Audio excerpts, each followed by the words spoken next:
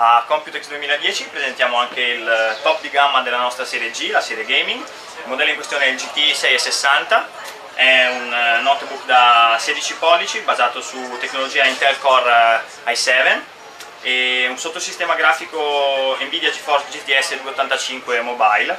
E una memoria di sistema fino a 12 GB DDR3 il, eh, lo storage è affidato a due dischi da 500 GB eh, in configurazione RAID 0, questo per massimizzare proprio le prestazioni. Ad aiutare i veri hardcore gamer abbiamo implementato una tecnologia proprietaria MSI che si chiama Turbo Drive Engine.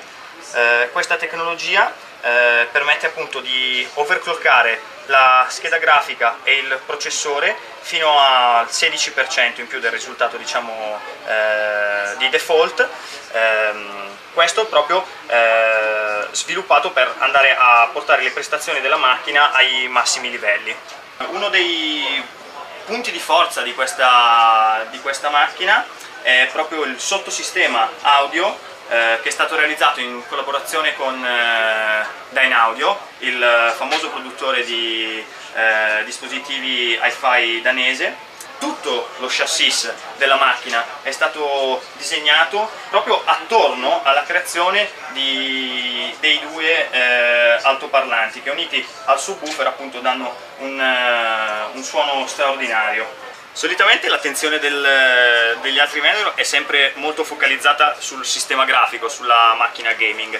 MSI ha voluto dare un aspetto più multimediale nella sua totalità a questa macchina, eh, appunto proprio grazie alla collaborazione con eh, Drain Audio, come vi farò sentire tra poco, infatti il, eh, la non solo la potenza ma la qualità del, son, del suono che esce eh, dagli speaker del sistema 2.1 Dyne Audio è veramente qualcosa di eccezionale.